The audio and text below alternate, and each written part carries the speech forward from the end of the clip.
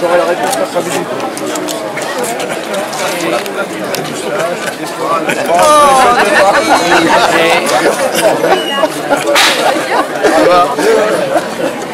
Ah, t'as mal choix quoi. C'est ça le Par contre, euh, hein, Ta roteuse avec son.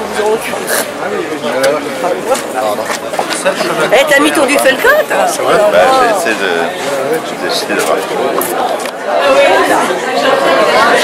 J'ai. Je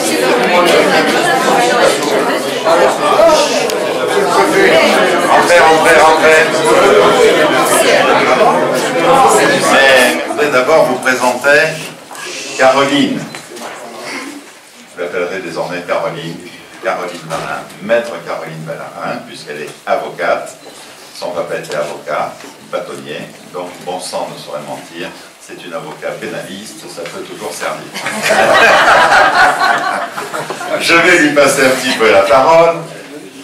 Oui, parce qu'elle est de Nice. Je vais lui passer la parole pour qu'elle se présente elle-même d'ailleurs. Euh, voilà, tu as ici euh, le noyau dur de nos amis. Un discours. Bonjour à tous.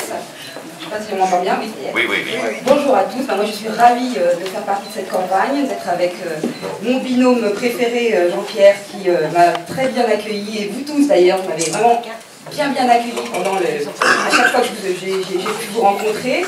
C'est très agréable. Euh, moi, c'est ma première campagne, donc je sais que pour vous tous, c'est pas la première. Je sais que vous êtes très mobilisés. Euh, J'apprends chaque jour un peu plus de, chaque, de vous.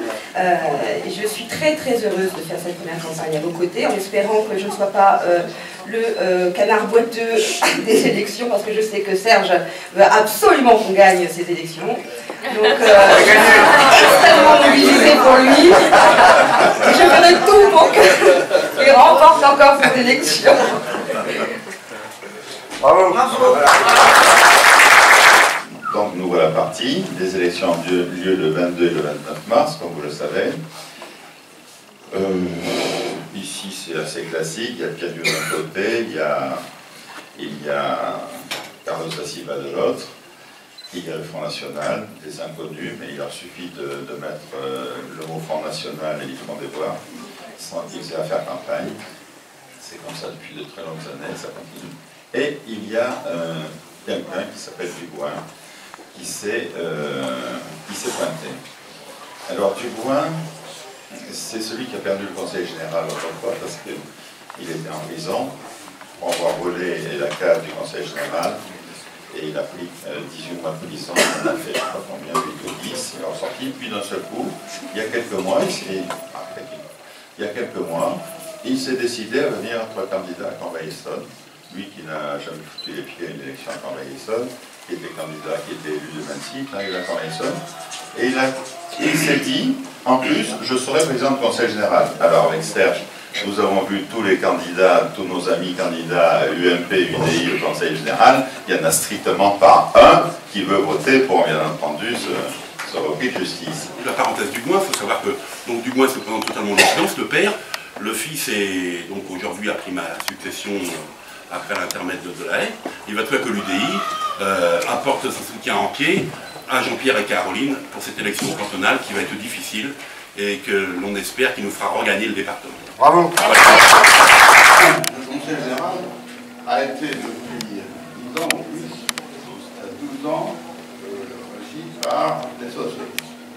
Et nous représenter dans le conseil général Dona Culture, Yario et Da Silva.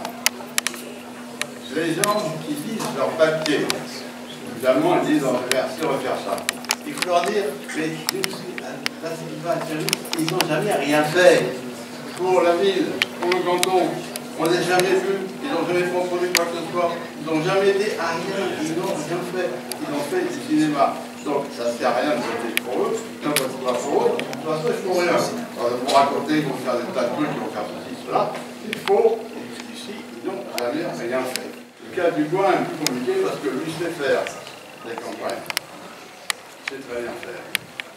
Et il a investi Corbeil-Essonne en racontant n'importe quoi. Alors, il va voir les, les- les- parents d'élèves, leur dit on va rénover toute l'école.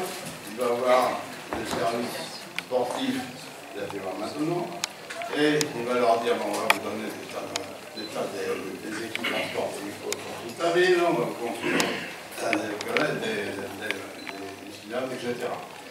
Il va voir les jeunes, il dit, on va vous donner du travail, on va vous donner des vacances, on va vous former, etc. Et il ne sait même pas quel est le budget du Conseil général sportif. Car il est catastrophique. Il n'y a plus un sou. Ils sont en dette et donc l'argent à dépenser. Il ne faut pas économiser. C'est pas eux qui vont en faire.